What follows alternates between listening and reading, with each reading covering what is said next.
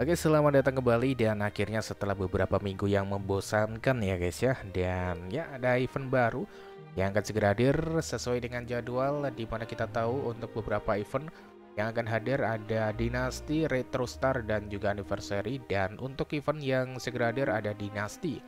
Jadwalkan hadir di tanggal 22 Agustus di hari Kamis seperti biasa reset mingguan Nah merayakan ikatan keluarga dalam sepak bola Dinasti akan datang ke FC Mobile pada 20 Agustus jam UTC atau di jam 8 pagi guys ya.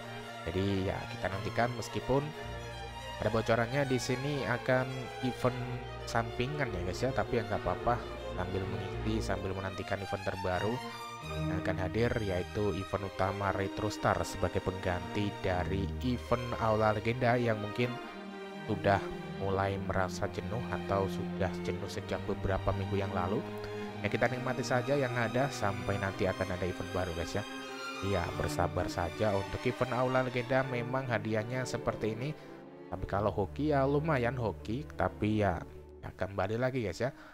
Misinya sudah selesai semua dan poinnya pun juga masih ada. Kita bisa gunakan di bagian koleksi icon untuk ditukarkan menjadi token tokennya ini poin transfer ini kita bisa tukarkan jadi poin transfer. Ya lumayan sih ini bisa kita dapatkan secara cuma-cuma tanpa perlu menggunakan koin tentunya guys ya. Semua misi sudah kelar dan ya kita nantikan event terbaru dinasti yang akan segera hadir di hari Kamis nanti. Oke dan kemudian kita bahas yang sudah di fix setelah memang kalau dihitung-hitung ini sudah 7 ya guys ya. Kita coba ke bagian locker room kemudian emot. Jika kita hitung ini emotnya sudah 7 sih. Jadi memang entah ngebug dan sekarang sudah di fix nah di bagian sini di bagian kita suruh ngumpulkan sebanyak 7 logo pengguna. Mulai dari nah di sini guys sebentar. Kita tunjukkan ada dari Alonso, Torres, Lampard, Gerrard, Kapten Gerrard. Nah seperti ini ini sudah ada 1 2 3 4 5 sudah ada 5 ditambah yang di emot ini ada dua harusnya sudah 7 guys ya. Tapi karena beberapa hari yang lalu ada ngebug sekarang sudah di fix nah di sini ada kapten satu kemudian ada jago taktik.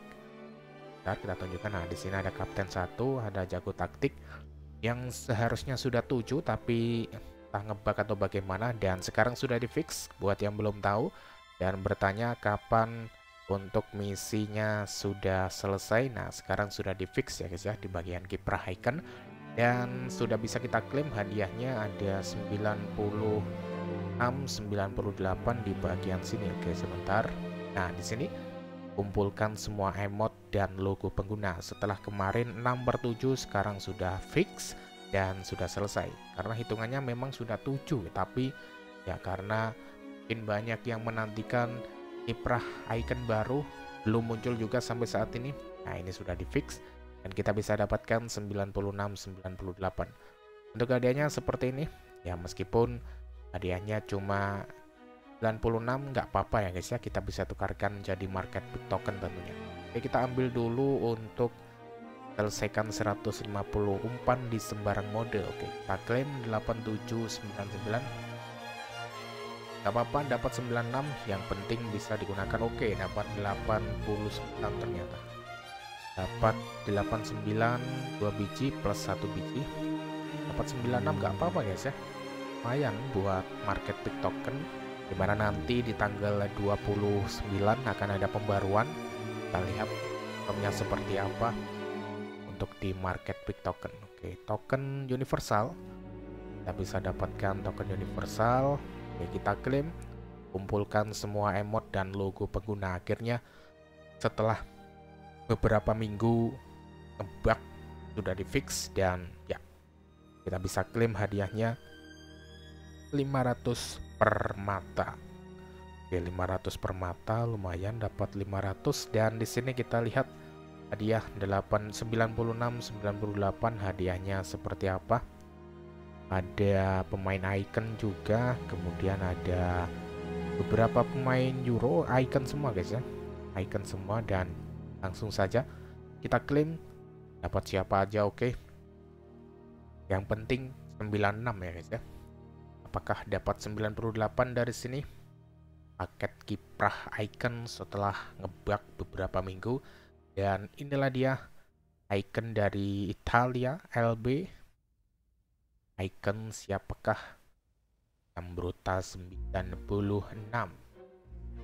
96 tidak bisa dijual tentunya dan ya kita bisa gunakan di market pick token untuk ditukarkan menjadi token dan sudah selesai buku panduan misi kiprah icon tanpa menantikan kiprah icon baru ya guys ya.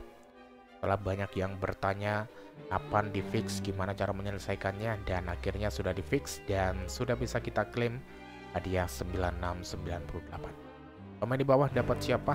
Apakah ada yang dapat 98 Oke kita klaim 9496 nah kalau di sini ini random jadi ya kalau dapat 96 sih oke. Kalau cuma dapat 94 ya nggak apa-apa ya ya diklaim hadiah kedua untuk di bagian kiprah icon sambil menantikan event baru di hari Kamis nanti dan ya. Setelah beberapa minggu yang membosankan nanti akan ada event baru guys ya.